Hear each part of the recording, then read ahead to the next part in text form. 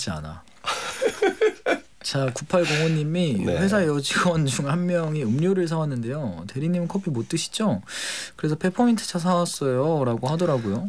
그 이후 그녀는 여직원 중 한 명이 아니라 내게로 와서 꽃이 되었습니다. 사실 차도 잘 못 마시는데 그날 이후 계속 페퍼민트만 마셔요. 어. 그냥 카페인을 못 먹는 거였는데. 어. 네. 아 요런 요런 것들 내가 못 먹는 거 기억해 주는 거 되게 thank you긴 하지. 그 저거는 이런 이런 건 사실 확률이 높아요.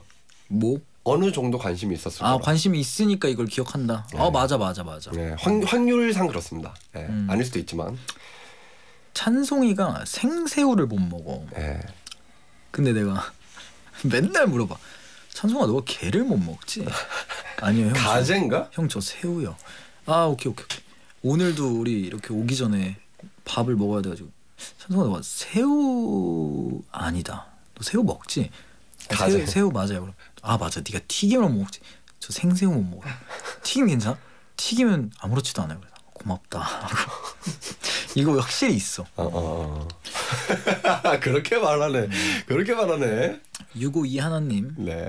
서른 중반이 넘어가니까 누가 뭐라 하는 사람이 없어요. 그래서 누가 나한테 잔소리라도 하면 갑자기 그 사람과의 미래까지 상상해 봅니다.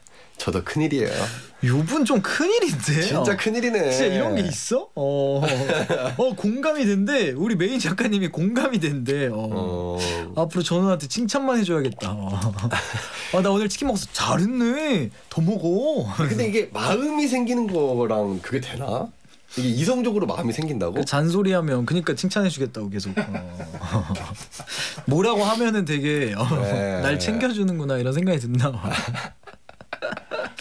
아 날 챙겨주나. 아 근데 이거는 나도 그런 건 있는 것 같아. 누가 나한테 잔소리하면 뭐야 이 사람 날나날 챙겨주나? 약간 음. 왜날 안 해줬으면 좋겠는데? 약간 그런 음.